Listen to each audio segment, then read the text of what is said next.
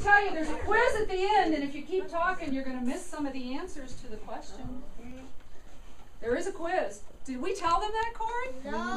Oh, yeah, there's a quiz. Bad corn. There's a always a quiz. quiz. Okay, so who runs the herd? The bellmare. There you go. Now, who else is in the herd? The stallion. Okay, so who else would there be left? The babies? And who's that? The teenager. Bellmare. Mommy. There are lots of mommies that aren't the bell mare, right? There's lots of mares. Right? And that's a stallion watching over the mommy and the babies, right? But then who else is there in the herd? So we got the mares and the babies, and we got the stallion and we- Teenagers. teenagers. Who else? The boys. The boys. Well, what happens to the boys if the stallion doesn't want other boys around? They kill them. Okay, what happens? Well, they don't kill them all. They kick them out. They kick them out. Okay, whoa, whoa, whoa. They kick them out. Who said they kick them out? They kick them out, but what happens to them? They they get No. Well, wait a minute. If I kicked out, meet up with let me ask a question. If I kicked out you and you and you and you, what would you do? What would you do? I go into Hoover's classroom and ask if I. No, no, no. If you're in the herd and you're boys and I kicked you out as the stallion, what would you do? We'd form a band. A There mini you herd. go. Mini herd. You'd form a brand of brothers, right?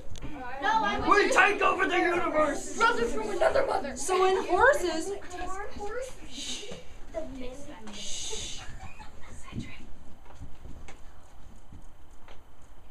okay, so in horses, the boys that aren't the stallion go and live in their own little bands. And they travel kind of with the herd, but not over to where they upset the stallion. And they just kind of travel along together. So you have the stallion, the bell mare, the mares, and the babies, and the teenagers all living together in the herd. And then you have, I call them the band of brothers, and they kind of live off to the side and they go do their thing and have their boy time. Right? Boy time.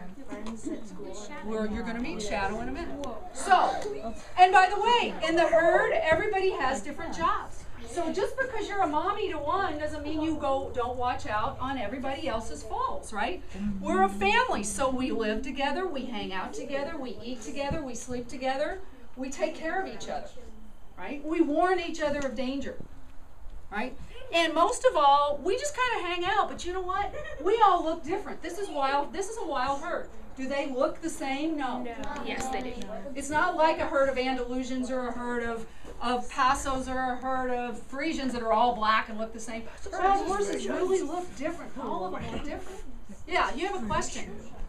You have a question. Yeah.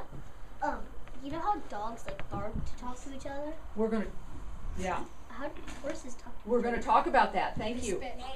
We're gonna talk about that. Can you give me just a minute? Let me talk a little bit about Maverick, and then we'll talk about that. Is that okay? Is that okay? So, let's talk about Maverick. All right. Is that Maverick? So we don't have a baby picture of Maverick, but I kind of thought this looked like Maverick as a baby. So Maverick was born in 2002, Yes. and he was found in New Mexico. I'm older than him. He's nine years old. I'm ten. I'm okay, who's ten? Who's ten? You guys are all older than Maverick. Yeah. I'm who's 11. nine? Who's nine? I'm the only nine-year-old. Well, you're the same age as Maverick, and you're 11. who's 11? 12. Who's who's nine or who's ten or over? Well, if you're 12, who's 10 or over?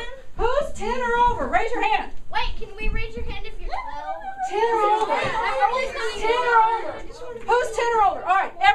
This room is older than Maverick. How's that? Except Cedric. Everybody in this room is older than Maverick except Cedric, and he's the same age. And Josie, though he's four. What month was he born? So,